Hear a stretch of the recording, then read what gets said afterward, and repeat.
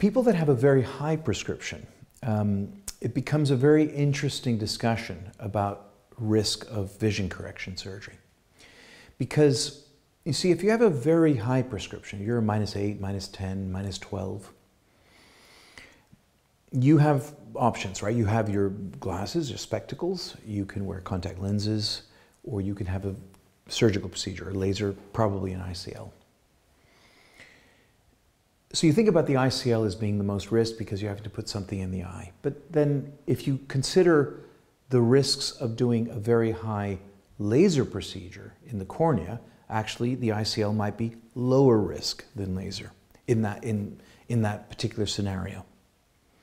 And then you think about contact lenses being even safer. Well, actually not, because we know from studies of, of hundreds of thousands of eyes now that contact lenses carry risks and they are now about equivalent to the risks of laser eye surgery and ICL surgery.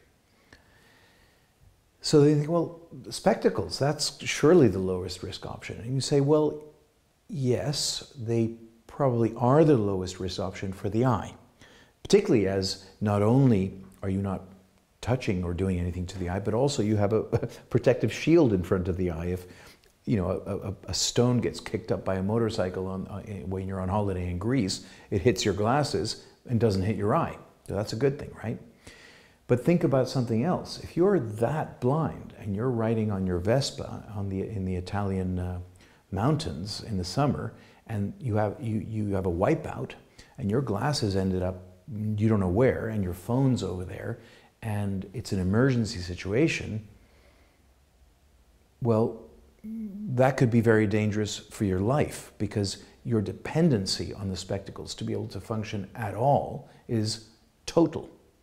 And so people who have very high prescriptions are quite vulnerable, actually. And they're really stuck in this, you know, fateful triangle of risk. Do they wear contact lenses, which they can't swim in, they can't shower in? Do they have a vision correction procedure, which has carried certain risks, probably about the same? Or do they wear spectacles and then, of course, there's a risk of them being knocked off in a situation that could be critical? The fact is that if you're born with that kind of prescription, you're born with a certain risk and you need to decide not whether you do something about the risk, but you've got to decide what risk you're going to take. And that is something which, as vision correction experts, we're very equipped to be able to um, give all the information and lay it out so that it can become clear and, and you can make a rational decision for yourself.